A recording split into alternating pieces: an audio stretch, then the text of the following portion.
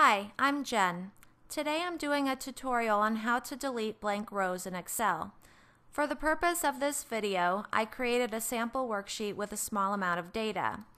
Removing blank rows manually on this sheet wouldn't be so bad, but when you're working with large amounts of data, it can be pretty monotonous and a time-consuming task.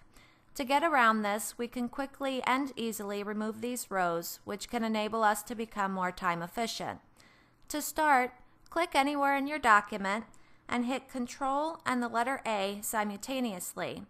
Release those keys and press F5. Select Special and then choose Blanks and hit OK. Now make sure you're on the Home tab and then scroll over to where it says Delete. In the drop-down, choose Delete Cells. Now you've removed the blank rows, but you've also removed the auto sum information. So highlight the data that you want to add up. Again, make sure you're on the Home tab and then choose Auto Sum.